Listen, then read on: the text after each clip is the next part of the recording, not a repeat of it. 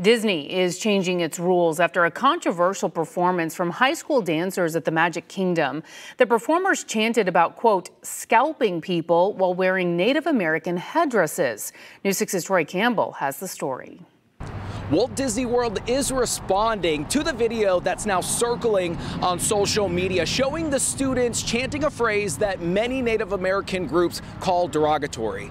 We spoke to a woman who says this group is discriminating against her culture. To see everybody in the crowd um, and everybody working there cheer and and clap like nothing bad is happening, that is the absolute worst feeling. Cheyenne Begay with the Indigenous Peoples Movement says she was saddened to see video showing students from Port Neches Groves High School from Texas performing on Main Street, USA, inside Disney's Magic Kingdom. She says the phrase the students chanted during their routine is derogatory and offensive to Native Americans. But I feel like there needs to be more in place saying that Indianettes can never perform there. Walt Disney World released a statement to News 6 after the video started gaining attention on social media that reads, quote, we regret this performance took place as it did not reflect the audition tape that was submitted.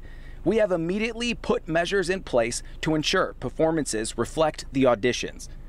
Cherokee Nation Principal Chief Chuck Hoskins Jr. telling News 6 for the past couple of years, we have written to the Port Neches superintendent and school board, asking them to cease using this offensive imagery, chanting, symbolism, and other practices in their school traditions, as it does nothing but dishonor us and all Native American tribes who are making great strides in this country. Indianette's Facebook page shows the administrators put the public page on pause during the fallout. CBS affiliate KFDM TV in Texas received a statement from the school district that reads, We are committed to diversity, equity, and inclusion in our school district. Begay says she's hopeful the school district will make changes. We do not have a motherland. We do not have anywhere else to go. This is our only land and we do not have a space to be here. Disney has not released details about what new measures have been put in place.